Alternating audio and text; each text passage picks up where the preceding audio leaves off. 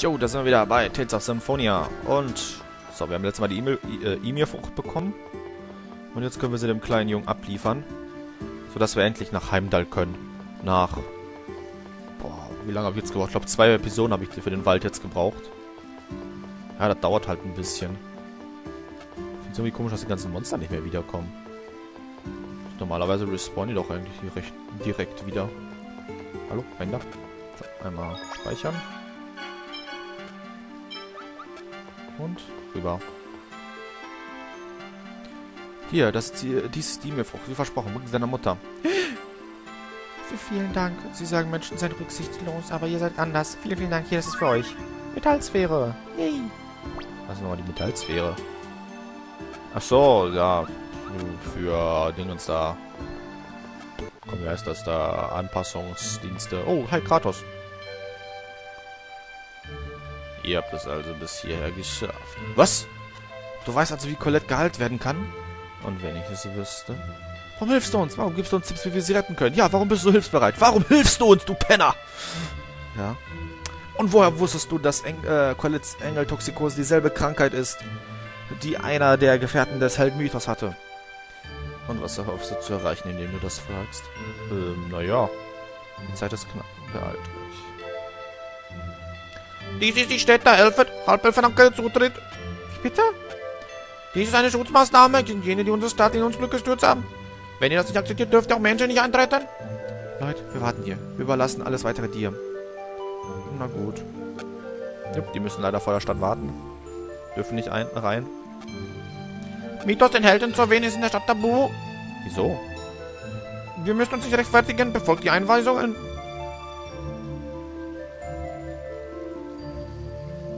Von morgen statt der Elfen. Heimdall! So, als allererstes laufen wir in den Rüstungsshop. Natürlich. Ähm, was bist du eigentlich? Ja, bla bla.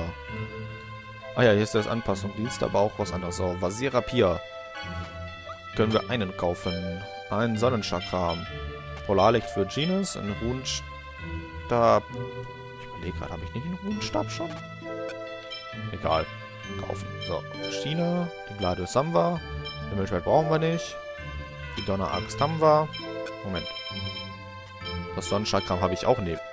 Warum habe ich das Sonnenchakram aber Colette nicht ausgerüstet und Macht des Kristalls haben wir auch. So. Ich muss mal eben gucken. Äh, Vasirapier.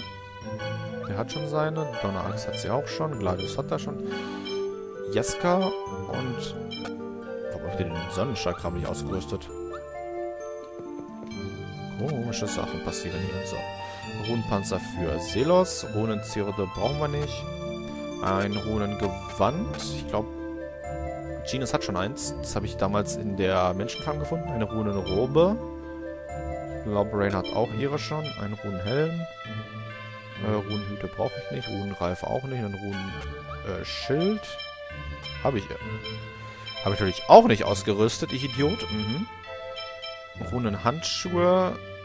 Nee, Runen... Okay, Runenstiefel. Ja.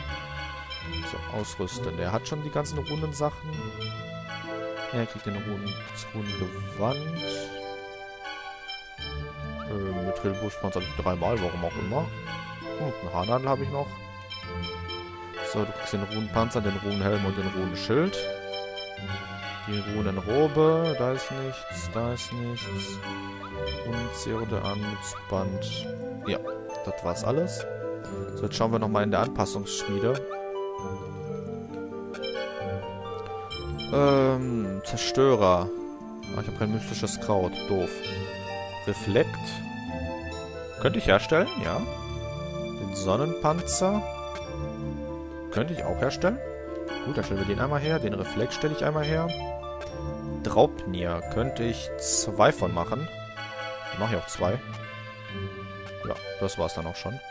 Hey, oh, geh weg. Sprich mich nicht an. So, Reflekt.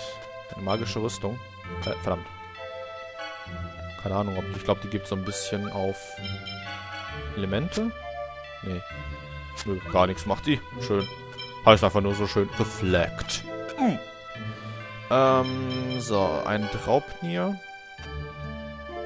Okay. Äh, du hast den Sonnenpanzer.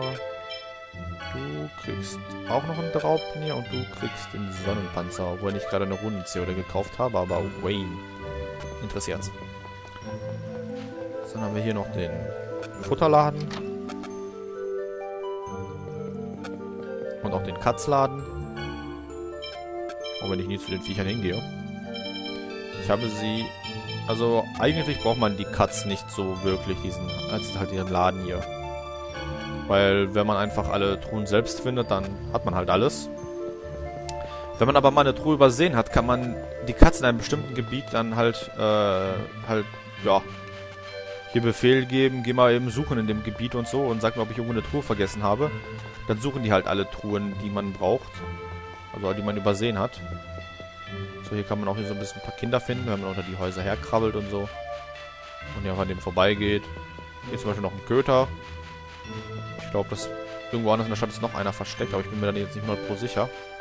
Die sollte man auch direkt beim ersten Mal holen, wenn man hier ist. Wenn man halt auf Colette und der Liebhaberin Titel aus ist. So, wir müssen jetzt einfach nur noch mit dem Dorfältesten sprechen. Wie war das? Mana-Blattkraut! Ja, wir brauchen es. Das ist eine wichtige Pflanze, die wir helfen für unsere Magie benötigen. Wir können sie nicht jeder x-beliebigen Person sagen, wo sie wächst. Kann man leider nichts machen. Ohne die Pflanze stirbt eine Freundin von uns. Wie meint ihr das? Äh, eine Freundin von uns ist krank. Sie hat äh, Engels-Effekt und so. Nee, nein, nein. Chronisches Angelus. Chronisches Angelus Kristallicus, äh, Cristallus in Officium. Ja, genau, das eben. Was? Das ist Mattel, also hat deshalb Kratos also. Was? Haben Sie gerade Mattel gesagt? Was ist mal mit Kratos? Was wollte der hier? Macht euch keine Sorge wegen Kratos. Mana Blattkraut wächst in einem Gebiet südöstlich von hier, in der Lation-Schlucht. Sie liegt tief in den Bergen von Lebeschleiern umgeben. Zeigt dem Wächter diesen Stab. Ältester. Ich habe nichts weiter zu sagen, Menschen. Jo, jetzt haben wir den Stab bekommen. Wenn wir jetzt... Ich hätte auch einfach so jetzt dahin gehen können, aber da hätte einfach nur der Typ, diese Wache gesagt, hey, du kommst du nicht rein. Außer ich habe Stab. Dann sagt er, ey, du kommst rein. Und da hinten ist noch ein kleiner Wald. Da können wir hin. Hier ist übergeht der heilige Torrentwald. Tote Nummer Erlaubnis des Ältesten. Da kommen wir auch irgendwann mal hin. Auch ein blöder Dungeon, den ich nicht mag. Ähm, ja, was haben wir noch? Später, sehr viel später, können wir hier auch, ähm, also hier lernt man Meteor Storm von einem alten Opa. Du musst einfach nur anreden. Da seid ihr ja wieder. Verlasst ihr den Ort? Jo. Genau, dann gehen wir. Kann ich abkürzen? Moment, bevor ich gehe. Ähm, was war das? Sakralgewand. Oh, okay. Aber Polarlicht hatten wir nicht. Und Run ja, Runenstab, Runenrobe.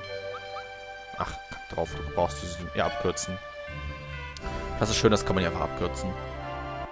So, jetzt ist mir südöstlich von hier, wenn man auf die Karte guckt, da ist so ein kleiner blinkender Punkt. Das ist genau der hier. Das... Doch, das ist es, ja. Lation-Schlucht. Moment. Ich möchte direkt davor landen. Danke. Ich möchte einmal noch kurz speichern, bevor ich da reingehe. Je, schon mehr als eine Stunde Spielzeit. Da. Der da. Ihr scheint den Stab des Ältesten zu haben. Ihr könnt passieren. Ja, den Teil mag ich auch nicht so wirklich. Was ist das für eine Blume? Wow, was ist das? Aua. Meine Zähne, haben, meine Zähne haben gerade ziemlich stark zusammengeknallt. Das hat weh. Sie ist groß und schön. Sie ist groß, aber nicht schön. Hey Leute, da hinten drüben ist auch eine. Aber sie sieht anders aus. Du hast recht. Sie sieht aus, als würde sie Wind erzeugen und sie hat eine andere Farbe. Rain, was ist? Ich habe das schon in meinem Buch gelesen. Es gibt eine Pflanze, die ihr Wind erzeugt, wenn sie gefüttert wird. Das ist unsere liebe Rain. Ich verliebe mich jeden Tag aufs Neue an sie. Die Blume da drüben stößt Wind aus. Heißt das, ihr Futter wächst in diesem Tal? Äh, total dumme Stimme irgendwie für Regal. Das habe ich gerade irgendwie nicht ganz bemerkt. Ja, das wäre logisch. Äh, Rain? Bilde ich mir das nur ein oder ignorierst du letzter meine Lieblingserklärungen? Wenn ja, sind diese Blumen vielleicht zu irgendwas nütze? Ja, das glaube ich auch. Bisher, nicht du auch noch. Ach man, Seelos, bist du vielleicht mal still? Was lassen wir dich hier stehen? Aha. Ja, den Teil mag ich auch nicht. Auch wenn ich sage, den Dungeon mag ich nicht, den Dungeon mag ich nicht und so, aber das ist trotzdem ein geniales Spiel. Man muss es als Ganzes sehen und nicht nur als Teile. So, holen wir mal die Truhe. Edles Granulat. Brauche ich zwar nicht, aber Wayne. Kann man Monster hier so ein bisschen zeigen. Das sind auch schöne Monster. Oh, ich habe sogar das richtige Element. Und ja. Sie haben Schwäche. Donner. Sind also wahrscheinlich Wassermonster. Was macht Genus? Er greift mit Wasser an. Kill it with water, ne? Ich habe geblockt. Warum hast du mir Schaden gemacht? Disperse. So, ich möchte nochmal ausprobieren. Heavy Tiger Blade mit Thunderblade. Oh, oh, oh, oh. Okay, und das. Aber nur die beiden. Mehr braucht nicht. Jo. Genau, hier kommt noch Lightning Tiger Blade raus. Nur habe ich irgendwie ein ganz anderes Monster getroffen, hat sich vorher... Ja, das ich vorher gezielt habe. Naja, der Genius wollte da schon mit Indignation ankommen. Warum? Wann wurde mein Team wieder auseinandergerissen? China hat mein Team nie verlassen. Warum ist sie trotzdem gegangen? So, da haben wir noch ein Monster. Ach komm. Die mal in Ruhe weitermachen kann. Komm her, der Dumme. Wie heißt du? Giftlilie. Ih, hast du Giften? Wow.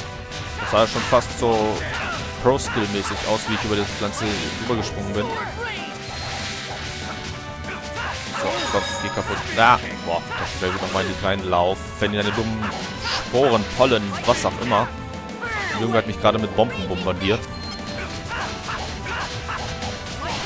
Okay, Feuer ist anscheinend auch deren Schwäche. Ja, das war jetzt natürlich schon wieder total unnötig, aber okay. Super Granulat. Ja, die Monster, glaube ich, also diese Schnecken sind, glaube ich, gut zum Granulate sammeln, wenn man das irgendwann mal braucht. So. Okay. Kann man nicht hier unten irgendwie noch? Nee, kann man gar nicht hier. So, wir stellen jetzt einfach mal die Blume. Setzen das ein, da steht so eine kleine Kugel. Und in dieser Kugel können wir uns von dem Wind der Blumen, äh, ja, mitreißen lassen. So, und hier oben ist noch ein Monster. Mit noch einer Giftlilie und noch mehr Stachelschnecken. Ja, komm. Verprügelt mich. Ich werde von tanzenden Pflanzen verprügelt. Ja, genau, Explosion. Bam. Ah, ausgewichen mit der Attacke. Zack, komm. Auf den? Ich hoffe, dass ich angreife. Ja, Ray, am besten du kommst noch näher dem Gegner, dann kann er dich noch besser treffen. Das fände ich umso besser. Oh, du hast sogar ein Level abbekommen. Finde ich gut. Welchem Level bin ich denn? Ja. Ich glaube, ich tue mal Colette für Regal und China für Genus. So, hier oben haben wir Früchte. Hey, das ist die Kirima. Ich hätte nie gedacht, dass ein solche an einem solchen... Dass, äh, dass das an einem solchen Ort wächst. Stimmt, das ist eine gute Zutat. Komm, nehmen wir welche mit. Ja, man weiß nie, was man so braucht. Hier können wir uns unendlich auffüllen. Ja, wir halten Kirima. Kirima. Ich glaube, wir kriegen drei oder vier pro Pflücken. Irgendwie so. So, bla bla. Können wir welche pflücken. Ja, okay, irgendwann können wir halt keine mehr tragen. An die Truhe da oben, äh... Irgendwie kommt man da dran. Ich weiß nicht mehr wie, aber... Ich versuch's mal zu... Ich guck mal. Ich werde wahrscheinlich jetzt nicht den Weg nehmen, um alle Truhen zu kriegen. Weil man da sehr viel dann nochmal normal machen laufen muss. So, wir sollten sie doch füttern, oder? Wie wäre es mit einer Kirima? Da drüber wachsen welche. Äh, drüben wachsen welche. Oh ja, okay, ich versuch's mal. So, wir können die Blume füttern. Wir können sie mit Kirima und mit Amango füttern. Oder halt mit nichts. Mit Kirima sieht man, sie werden wieder gesund und können uns Wind spenden. Mit Amango macht man die Blumen kaputt, dann können sie gar nichts mehr. Brauchen wir jetzt noch nicht, aber das kommt gleich noch. So, geh weg, geh weg, geh weg. Nein! Ja, ich habe auch keine Zeit für den Kampf, merke ich gerade. Raus hier. Tschüss. So, schnell weg. Gut, das war sogar der richtige Weg hier. Und äh, kommen wir mal so schnell vorbei. Und ich würde sagen, hier auf der Brücke mache ich einen Schnitt. Wir sehen uns beim nächsten Mal bei Tales of Symphonia. Bis dann. Ciao.